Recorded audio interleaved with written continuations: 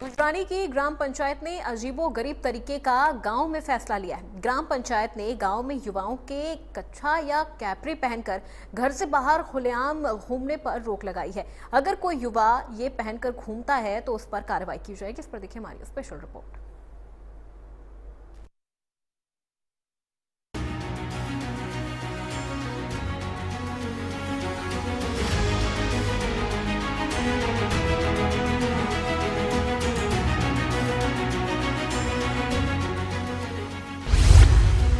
भिवानी की पंचायत का अजब गजब फरमान। पंचायत का फरमान गाँव में घमासान। पंचायत के फरमान से लोग हैरान। कच्छा कैपरी पहनकर घूमने पर रोक। भिवानी के गुजरानी गाँव से एक अजीबोगरीब मामला सामने आया, जहाँ के सरपंच ने एक अजब गजब फरमान जारी किया। यहाँ के सरपंच ने गाँव में माहौल बिगड़ने से बचाने के लिए कच्छे निक्कर पहनकर गलियों में घूमने के लिए रोक लगा दी है। कच्छा या निक्कर पहनकर बहन बेटियों के शर्मिंदा होने का हवाला देते हुए उन्होंने कहा कि अगर कच्छा या निक्कर पहनकर घूमते हुए पाए गए तो पहले घर पर शिकायत की जाएगी और फिर कार्रवाई भी होगी। इस अजीबो गरीब फरमान की पूरे गाँव में मुनादी कराकर लोगों को जानकारी दी गई।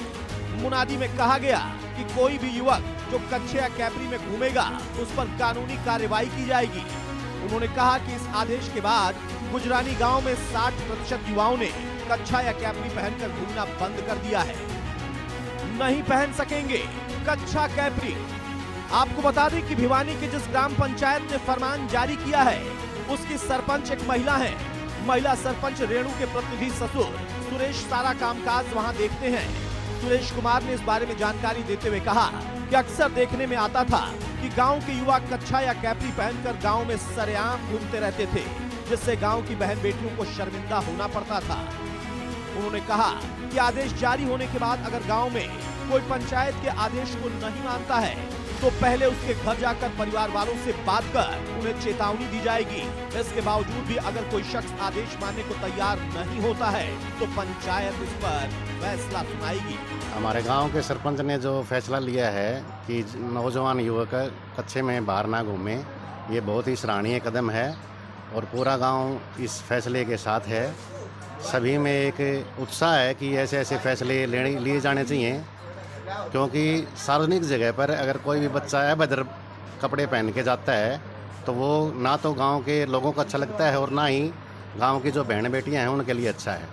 कई बार बच्चे स्कूल में भी ऐसे ही लोअर लो, इसमें निकर निकर में चले जाते हैं, वहाँ लड़कियाँ पढ़ती हैं, जो बहुत ही गंदा लगता है वहाँ पे।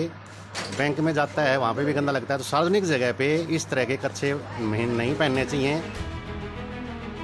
वहीं गुजरानी गाँव की पंचायत किस आदेश की पूरे गाँव ही नहीं, बल्कि आसपास के गाँव में भी चर्चा हो रही है। उन्होंने कहा कि कच्छा या कैपरी पहनकर घूमना हमारी सभ्यता और संस्कृति के खिलाफ है। आपको बता दें कि गुजरानी गाँव की आबादी करीब सात हज़ार है और इस गाँव में करीब 1250 घर हैं। गाँव में बैंक से लेकर स्कूल तक है।